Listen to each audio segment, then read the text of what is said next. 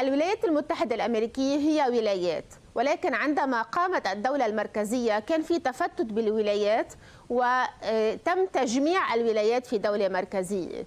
المقصود هنا أنه عندما نتكلم منهم من يخاف أنه عندما نتكلم عن اللامركزية الإدارية نذهب إلى تقسيم البلاد فيما الفكرة من الفيدراليات كانت توحيد الولايات.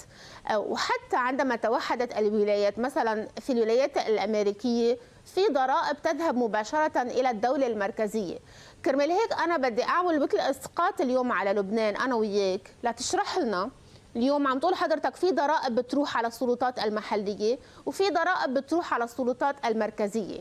كيف؟ مع الأخذ بعين الاعتبار أنه منهم من يقول أنه هيدي تحاكي المزاج المسيحي يلي ضريبيا بيتوجهوا له دائما القوى السياسية بتتوجه له أنه أنت بتدفع ضريبة أكثر من المناطق الثانية المسلمة وبالتالي أنت بحق لك أنه ضريبتك تضل عندك بأرضك بالوقت اللي الدولة المركزية من واجبها تعمل إنماء متوازن.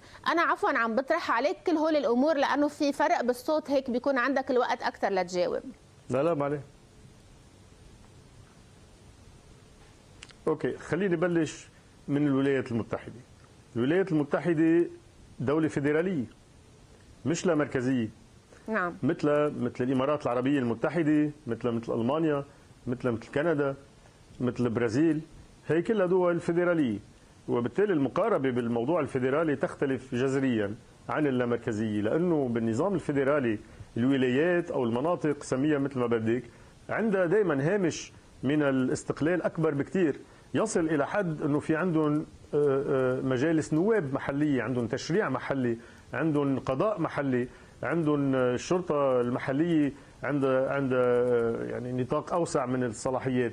مشان هيك المقارنة بين لا مركزية مالية وبين فيدرالية هو مقارنه شغلتين ما بيشبهوا بعضهم. نعم. النظام الفيدرالي وعلما إنه أنا مش ضد يعني شيطنة كمان الموضوع الفيدرالي. صحيح أنا أدعو إلى اللامركزيه الموسعة ولكن أنا بعتقد إنه حتى طرح النظام الفيدرالي هو طرح مشروع ديمقراطي لنظام حكم ضمن ضمن دولة وحدة. يعني اللي عم يطرحوا الفيدرالية بلبنان ولو أنا مش منهم ولكن حقهم يطرحوه وهن دائما عم يطرحوه ضمن دولة موحدة. مشان هيك خليني أقول إنه إن كان بالفيدرالية ولا باللامركزية ما حدا عم يجي صوب وحدة الدولة. وتحديدا باللامركزية وحدة الدولة تبقى هي الأساس. ابدا ما في إعادة نظر بوحدة الدولة بأي نظام لا مركزي النظام اللامركزي على مستوى الضرائب يختلف عن الفيدراليه جذريا لأن بالفيدراليه بيقدروا يفرضوا ضرائب محلية بيقدروا يغيروا ويعدلوا مثل ما بيريدوا لأنه عندهم مجلس تشريعي عندهم بيكون اجمالا قوانين محلية. أما في النظام اللامركزي فالتشريع يبقى للسلطه المركزية. التشريع بيبقى بمجلس النواب بلبنان. ما بتشرع المجالس المحلية ولكن المجالس المحلية بيكون عندها حد أدنى من الإمكانيات المالية لتمكنها من ممارسة صلاحياتها. رح أعطي مثل انطلاقا من مشروع القانون اللي تقدم بال 2014 هذا المشروع بيعتبر مثلا إنه ضريبة الأملاك المبنية كونها معروف جغرافيا العقار وينه لازم تروح على صندوق القضاء ما بتروح على صندوق الدولي ومنا بنرجع بنوزع. هيدا منه تقسيم. هيدا تمكين لهالمجالس المحلية من إنه يكون عندها واردات كافية مباشرة لا تقدر تمارس صلاحياتها بس بيبقى كمان إنه في ضرائب عديدة رح تبقى مركزية. يعني اللي بيصرف بيشتري بالسوبر ماركت ولا بيروح على أي شيء بيدفع عليه تي في أو ضريبة على القيمة المضافة هيدي بتروح على الخزينة المركزية ما بتروح على صندوق مجلس القضاء. مشان هيك العبرة هي ل... فعلا للقانون اللي عم نصيغه.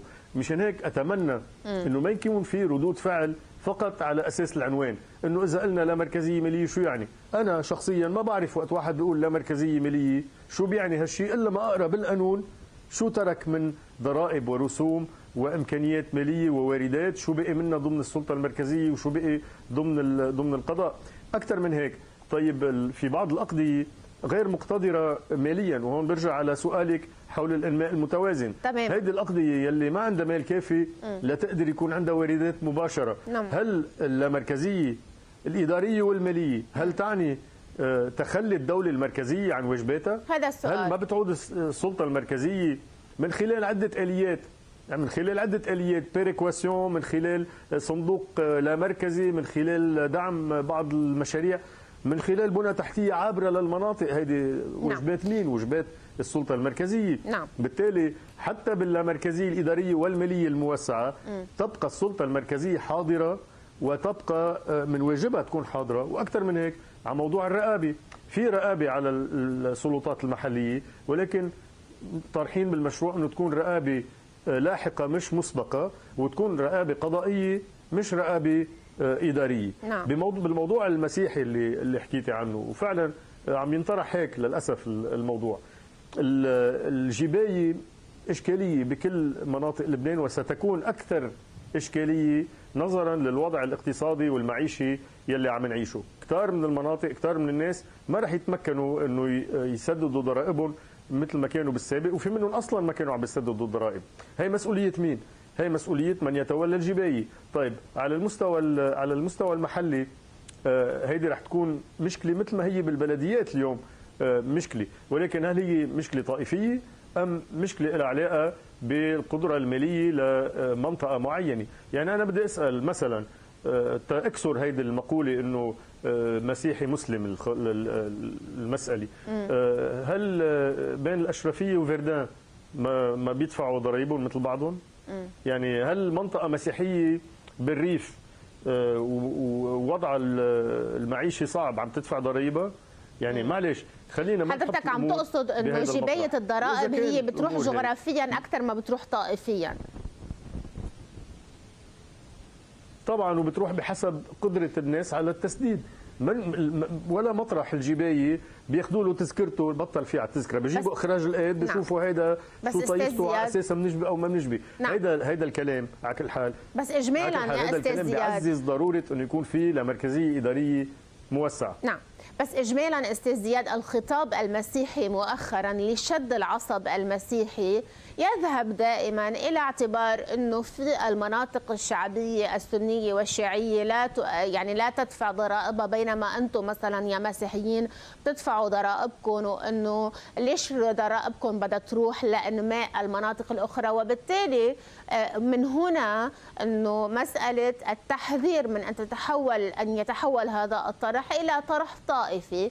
لا سيما وأنه كمان اسمح لي أقول لك شغلة تعقيبا على ما قلته عن أنه الدور الدولة المركزية، هون بدنا نفترض إنه في دولة مركزية بينما الواقع في لبنان في اهتراء للدولة المركزية، يعني برأيك اليوم أليس هذا الطرح خطر لأنه اليوم ما في دولة مركزية بتقدر تحمله وبالتالي انهيار الدولة المركزية يمكن أن يعززه كطرح تقسيمي بدل أن يكون طرح لتنظيم البلاد؟ شوفي جوزيفين مع رفضي الكامل لمقاربة طائفية للموضوع يعني بعتبر إنه المسألة مسألة اولا إمكانيات محلية ومسألة جباية ومسألة تتخطى الموضوع الطائفي. بعتقد إنه إذا السلطة المركزية مصرة على الإمساك بالمناطق تحت عنوان الولاء السياسي أو تحت عنوان الإطباق على المناطق بس ليكون عندنا أجندة مركزية نعرف كيف راحت وكيف انهارت السلطة المركزية وجزء كبير منها بسبب هالطريقة بالتعاطي مع مع الناس ومع البلد. لا هذا بالعكس هذا بيكون سبب إضافي للتأكيد على ضرورة اللامركزية الموسعة. اللامركزية الموسعة رح تحل مشكلة المركز. ليه؟ لأنه بكل دول العالم يلي بيصير فيها تأزم على مستوى المركز بتضل المناطق تشتغل وتتنفس بشكل طبيعي. نحن بعتقد الأزمات المركزية المتلاحقة تؤكد أن ضرورة انه يكون في مناطق منتعشة قادرة تكمل هي بموازاة الأزمة في المركز. ولنا في في في في موضوع الكورونا مثل كبير. يعني بنذكر تمام قد كان دور البلديات مهم بالفترة السابقة بأول جائحة كورونا. شفنا كيف وزارة الصحة كانت عم تطلب من البلديات أنه تساهم معها إن على مستوى الرقابة أو على مستوى الخدمات اللي عم تتقدم للناس. شفنا قد دور البلديات اللي هي لحد هلأ الشكل الوحيد من اللامركزية كان أساسي. مشان هيك ما بيجوز نضرب فكرة اللامركزية. الفكرة بحد ذاتها نعم. تحت عناوين مختلفة وإنه هيدا بنسبه لأنه طائفيا منيح أو هيدا بعتقد إنه هيدي هيدا منه الموضوع منه ما بيجوز نقاربه طائفيا. بقدر ما لازم نشوف المشكلة وين ونعالج المشكلة. إذا كان فعلا في مناطق عم تدفع ضرائب أكثر من غيرها وهيدا يمكن ببين بالأرقام. بدنا نشوف ليه. إذا في مناطق غير قادرة على إنه تدفع بدنا نشوف ليه. وبده يتعالج هذا الموضوع من خلال السلطة المركزية بتدابير ضمن هذا القانون قانون اللامركزيه ومش عم بحكي نظريات عم بحكي تطبيق. بالتطبيق وقت اللي في منطقة غير مقتدرة ما بيجوز السلطة المركزية ما تساهم بأنه ترفع لها مستواها المعيشي. حتى بهذا المشروع اللي حكيت عنه بالصندوق اللامركزي في مؤشرات لتوزيع حصص المناطق بشكل إنه تؤدي إلى عدالة في هذا التوزيع. مثلا لأنه في أربع مؤشرات لهذا التوزيع مساحة القضاء عدد السكان المسجلين فيه الجباية والمؤشر الرابع سميناه مؤشر التنمية.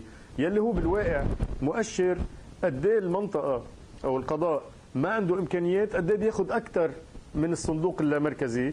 لأنه بيكون آه، طبعا على أساس مشاريع انمائيه لأنه بهالطريقة بتخلي المناطق تكون قريبة من بعضها. وأنا بعتقد إنه حتى المنطقة المقتدرة إذا جارتها آه، عندها مشاكل هي بتعاني بشكل غير مباشر من هالمشاكل. خلينا نطلع على اللامركزية على إنها هي تضامن وطني ضمن وحد ضمن دولة وحدة.